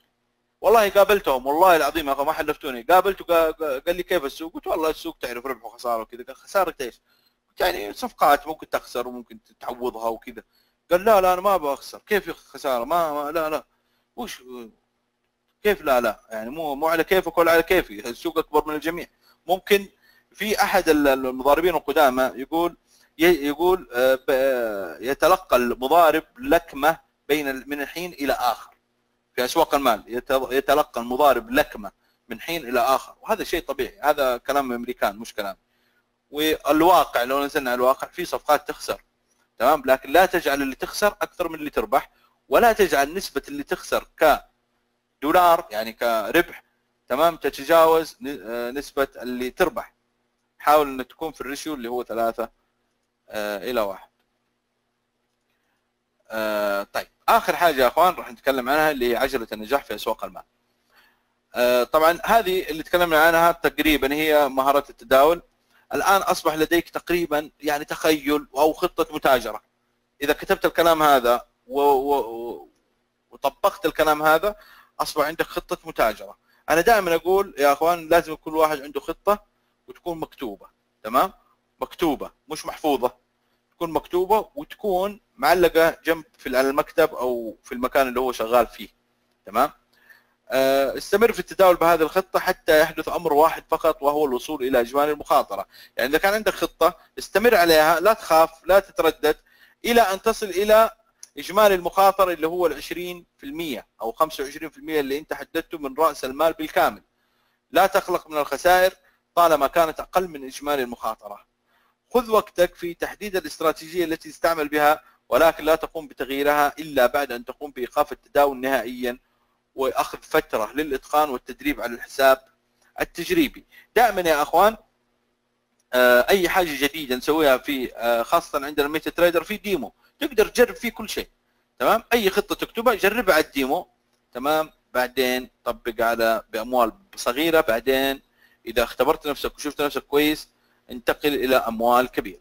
طيب يا أخوان هذه الشيء عجلة النجاح. وهي آخر شيء يا إخوان. معليش على الإطالة طولنا عليكم. آه هذه هذه يا إخوان في سؤال دائما يتكرر. أبو رسيل ما شاء الله عليك 13 سنة في أسواق المال ومدرب و... وين الملايين؟ حلو. في سؤال ثاني نيجي عند دكاترة ال... دكاترة الاقتصاد في الجامعات. السلام عليكم. وش فيك راكب كوريلا يا الأخو؟ ما دكتور مسوي لي دكتور في الجامعة واقتصاد معك كوريلا زي 90 إيش فيك؟ وين الاقتصاد حقك؟ طيب سؤال ثالث مثلا واحد كل يوم طالع لنا في التلفزيون في برنامج اقتصادي ويتكلم عن المال والأعمال وزي كذا وهو بنفس البدلة والكرافته ما غيرها وين الفلوس يا الاخو؟ فالسؤال هذا آه، بديهي يعني يقول لك والله أنت شغال طيب وكذا فين الفلوس؟ ليش منت هذا؟ طيب أنا أقول لك الجواب حق هذا السؤال. يا أخوان هناك عجلة لأسواق المال. هناك عجوة للنجاح في أسواق المال. يعني عشان تكون أنت ناجح هناك عدة عوامل يعني مو عامل واحد. عندك أكثر من حوالي ست سبع عوامل. خلوني أجيب لكم هذه ونحاول نتناقش فيها شوي هنا. إيش راح أسوي أنا؟ أنا حددت يا أخوان عندنا هنا واحد. أول شيء عشان تكون ناجح في أسواق المال لازم يكون عندك هوية. يعني هويتك كتاجر أول شيء يا أخوان الموضوع هذا تجارة. يعني ما هو آه، شغل موسمي. تمام؟ تشتغل مثلا في رمضان تبيع فهمتوا؟ وبعدين يخلص رمضان يجي الحج تبيع محارم. يخلص الحج يجي البرد تبيع آه، وزي كذا. لا. الموضوع يا أخوان تجارة. يعني أنا تاجر عملات. أنا تاجر بورصات أنا تاجر في أسواق المال. خلاص؟ اثنين يا أخوان في ناس مو داري هل هو مضارب لحظي أو مضارب أسبوعي أو مضارب شهري أو مستثمر؟ ما هو عارف. إذا تعلق قال أنا مستثمر وإذا مشت معاه قال أنا مضارب.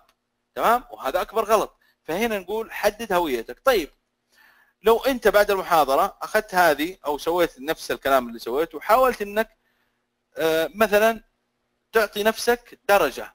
اثنين من عشرة أو أربعة.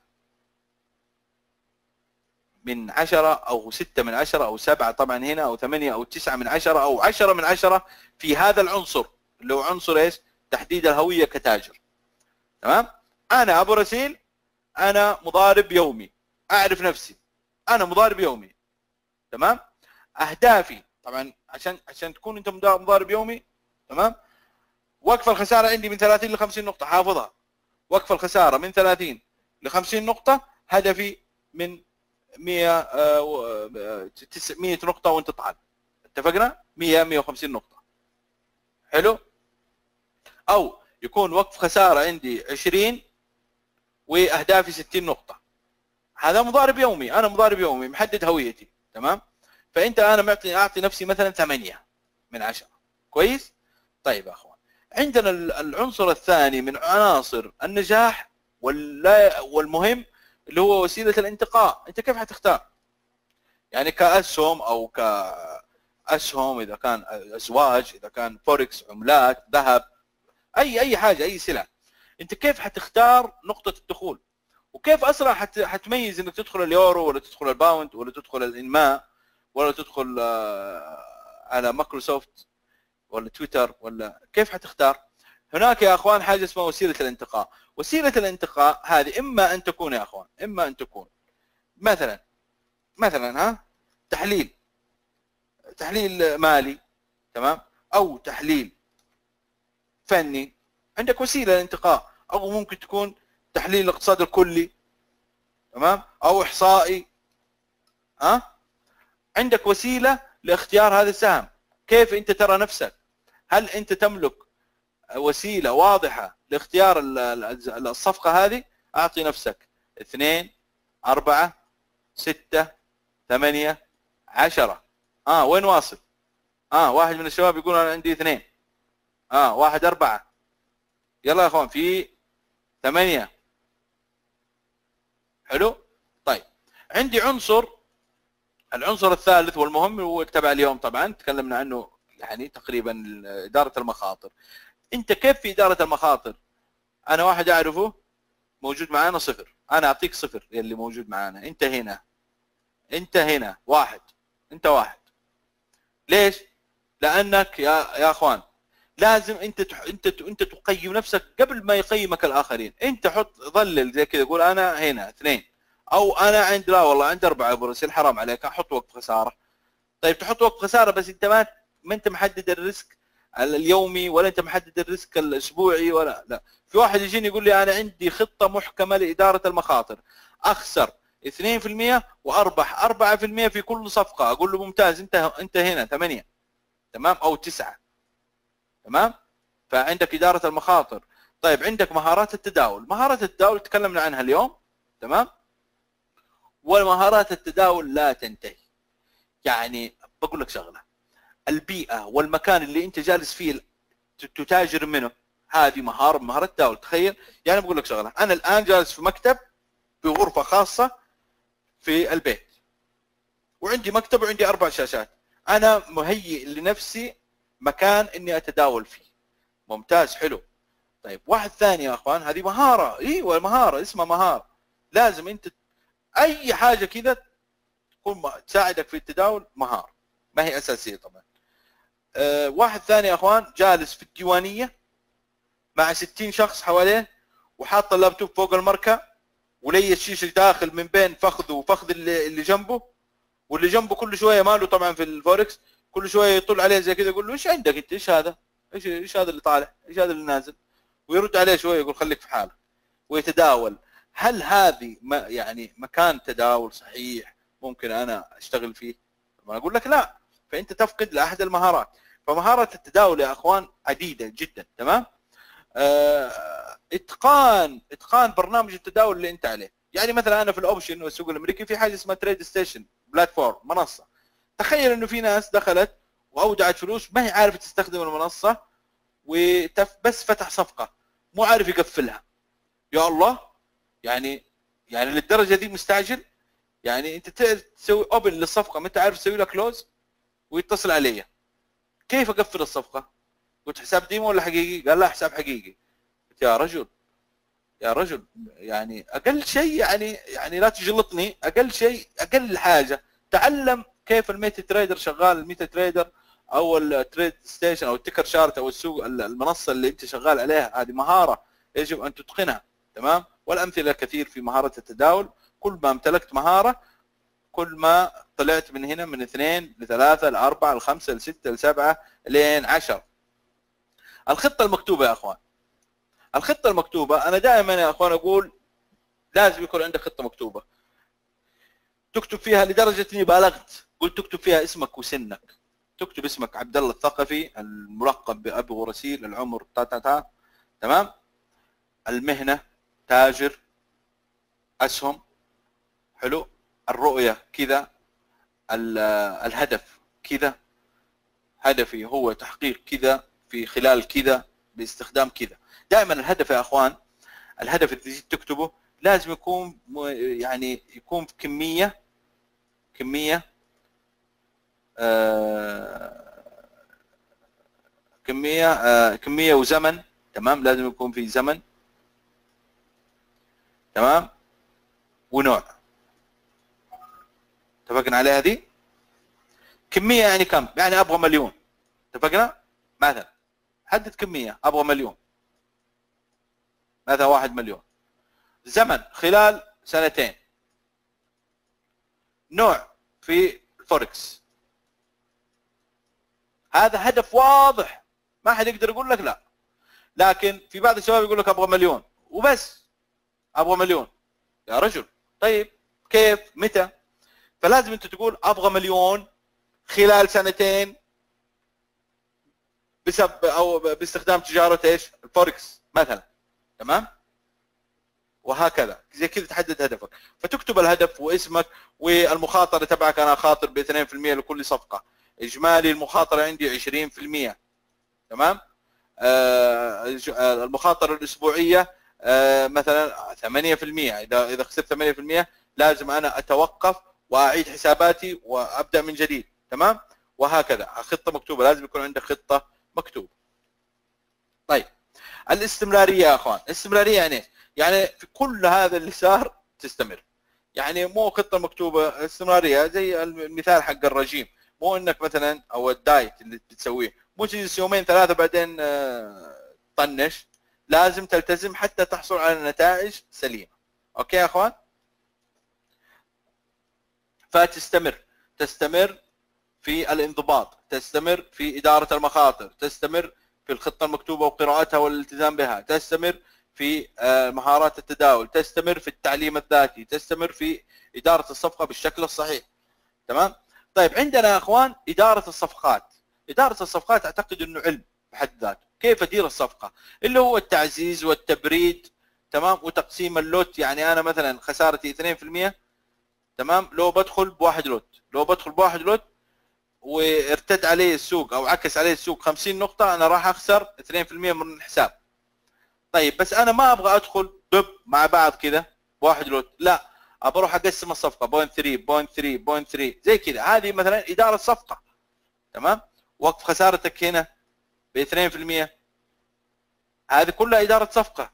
تمام؟ استخدام المخاطر إدارة صفقة. طيب نرجع للتبريد. وهذه المصيبة.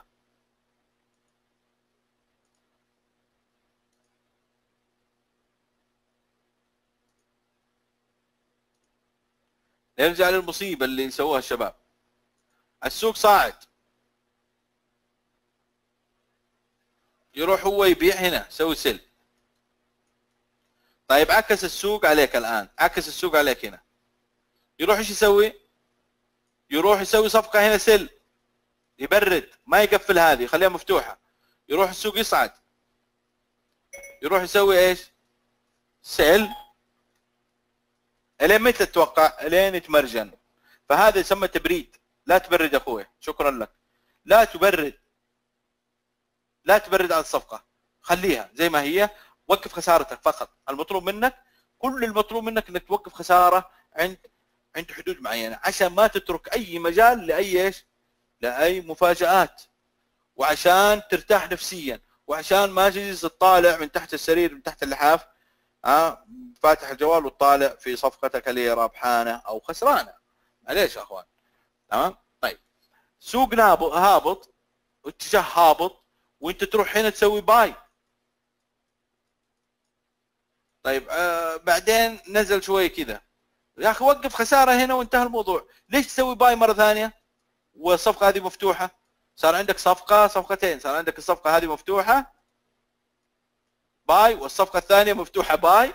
وانت قاعد تكابر وتقول السوق حيرتد. بعدين ينزل مرة ثانية السوق وتعمل باي.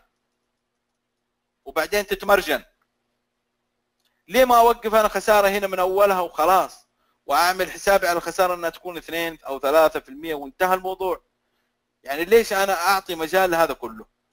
واعطي نفسي وادخل. على فكرة هذه المنطقة لاحظ ترى هذه المنطقة لما يعكس عليك يعني من الصفقة الأولى اللي هي هذه رقم واحد ترى المنطقة هذه كلها نفسيتك سيئة. تعاملك مع الآخرين سيء. تعاملك مع نفسك سيء. آه، مضغوط تحت الضغط. تمام؟ آه، قاعد إذا ما كنت متمكن من التحليل الفني قاعد تسأل كل المحللين. إيش رأيكم؟ متى يعكس؟ متى يصعد؟ متى راح تضيع وقت راح بدل ما تعلم حتى حتى حتى تترك نفسك مجال بالتعلم لحاجة جديدة راح لا راح تكون مالك نفس تتعلم أي حاجة أنت خسران. يعني يا أخوان ترى مصيبة للأمانة أكلمكم يا أخوان المنطقة هذه مصيبة. فعشان كذا نقول إيش؟ لا تبرد لا تبرد. حاول تدير الصفقة بشكل مثالي وبشكل سليم. التعليم الذاتي. يا الله يا أخوان. التعليم الذاتي طبعا هنا أنا أحب أشكركم جميعا على حضوركم هذه المحاضرة. ليش؟ لأنه هذا يدخل تحت التعليم الذاتي. أنت قاعد تحضر محاضرة تمام؟ وقاعد تتعلم حاجة جديدة. أو قاعد تأخذ فكره جديد تمام؟ فأنت عندك هذا الحس. حضورك هذه المحاضرة يعني لي إنه عندك هذا الحس اللي هو التعليم الذاتي والتطوير. طيب كيف تعلم نفسك ذاتيا؟ تتعلم أول شيء يا أخوان أول شيء أنا يعني في كثير من الشباب يقول لك أنا ما أعرف شيء وأبغى أتعلم إيش أسوي برسيل أول شيء تسويه يجب عليك أن تأخذ دورة عند مدرب. أصحى تفتح اليوتيوب وتبدأ تشتغل من نفسك. أول أول محاضرة لك أو أول تعليم لك عند مدرب. ايا كان هذا المدرب. تمام؟ ليش؟ لأنك بيضمن لك هو حاجة اسمها ال sequence أو التتبع ال topics أو المواضيع إنها تكون مرتبطة و يعني من من البسيط إلى الأصعب. تمام؟ يعني مثلا تحليل فني راح يتكلم أول شيء المحاضر حتى لو سيء. أنا ما يهمني هو سيء المحاضر أو جيد. أنا يهمني أنت بداية لازم تحضر عند مدرب. طيب حضرت عند مدرب وأخذت الأساسيات من عنده وأخذت الترتيب الكويس يعني من نظريه داو بعدين دخل على الاتجاهات. اتجاه الصاعد اتجاه الهابط اتجاه فرعي آه عرضي. بعدين دخل مثلا على المؤشرات بعدين شوي شوية على البولينجر ال R بعدين شوي شوي على الشموع. وهكذا وهكذا إلى أن انتهت الدورة. أصبحت الآن تملك مفاتيح. ال hammer مفتاح داو مفتاح. الآن ابدأ تتعلم ذاتيا. افتح اليوتيوب اكتب نظرية داو. اسمع. اسمع غير المدرب اللي حضرت عنده. تمام؟ اسمع عن الترندات اسمع عن شموع الهمر اسمع عن أي حاجة ثانية.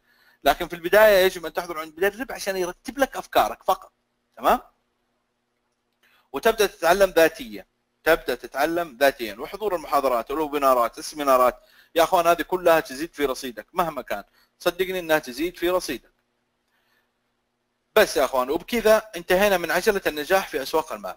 هذه يا أخوان متى ما عبئت؟ يعني تخيل هذه عجلة. عجلة يعني إيش؟ يعني كفر ها؟ يعني كفر. الكفره هذه يا اخوان أو العجله هذه. كيف تدور وتمشي؟ إلا إذا كانت تمام؟ على sector واحد يعني ها؟ sector واحد أو track أو مسار. يعني لازم تكون ثمانية. مثلا أنت هنا ثمانية وهنا اثنين. تخيل الكفره راح تبنشر راح توقف ما راح تمشي. فأنت إذا كان إذا كنت ما أنت عارف تحدد هويتك حددها واعطي نفسك ثمانية. وسيلة انتقاء ضعيف فيها ارفعها حاول تحضر محاضرات دورات قراءات أي شيء. وارفعها لين ثمانية. إدارة المخاطر المحاضرة دي إن شاء الله ترفعك من الصفر إلى الأربعة أو إلى الاثنين. تمام؟ بعد كذا أنا عارف أنت إيش بتسوي. بتفتح اليوتيوب وتكتب إدارة المخاطر صح؟ لازم تسوي كذا تدخل في التعليم الذاتي وتسمع أكثر. أنا سمعت مني اليوم اسمع من غيري يا أخي. في في محاضرة لرائد صديقي أو أستاذي الفاضل رائد الخضر. في عنده محاضرة عصماء عن إدارة المخاطر. جميلة جدا ليش تفوتها موجودة في اليوتيوب. اكتب إدارة المخاطر أستاذ رائد الخضر يطلع لك أستاذ رائد يتكلم ويتحدث ويعطيك ينورك تمام؟ وأستاذ وليد الحلو وناس كثير تتكلم عن هذا الموضوع. خلي أسبوع عندك هو أسبوع أو أسبوعين اسمه إدارة المخاطر تمام؟ تعلم حاجة جديدة نزل فايلات نزل تعلم على الارتباطات تعلم على الأشياء هذه حاول ثقف نفسك خلال الشهر هذا كله راح يزيد في رصيدك. آه، مهارة التداول ارمي المركة اللي انت حاط اللابتوب عليه روح غرفة هادية تمام؟ حاول إنك تجد لنفسك آه، يعني مهارات التداول معليش أنا اختصرتها في الماركة والهذا. سامحوني على يعني دعابة هذه. ولكن مهاره التداول حاول ترفعها باستمرار وهي تجي مع إيش؟ مع التعليم الذاتي يا أخوان والممارسة. راح طلع عندك مواهب ومهارات كثير. الخطة المكتوبة حاول من اليوم تفتح ورقة وقلم تبدأ تكتب الخطة المكتوبة حقتك وتحطها في مكان التداول. استمر في هذه الاعمال حاول تدير صفقتك بشكل احترافي. تمام؟ يعني إيش يا أخوان شكل احترافي؟ ترى شكل احترافي كلمة احترافي هي نفسها إنك تحط لنفسك خسارة 2% وربح 4% وإنك تقلل المخاطرة. وإنك تزيد تعظم أرباحك وتوقف خسائرك. وهذه هي الاحتراف. يعني الاحتراف ما هو رجل أسطوري. الاحتراف يا أخوان هو هذا. إنك تسوي زي كذا وتلتزم فقط. تمام؟ والتعليم الذاتي حتى تدور هذه العجلة وإن شاء الله أمورك المالية أو تداولاتك سوف تكون ناجحة وتصل إلى أهدافك وأحلامك المرسومة. هذا كان كل شيء. أستاذ رائد أنا كذا انتهيت إن شاء الله. الله يعطيكم العافية جميعا. أشكركم على صبركم يا إخوان وحضوركم وأحب أشكر كمان شركة Equiti Global Markets Equiti لتسخير كل الإمكانيات للقاء معكم يا إخوان سواء كان ويبينارات أو سيمينارات فهم مشكورين للأمانة. والله يعطيكم العافية جميعا.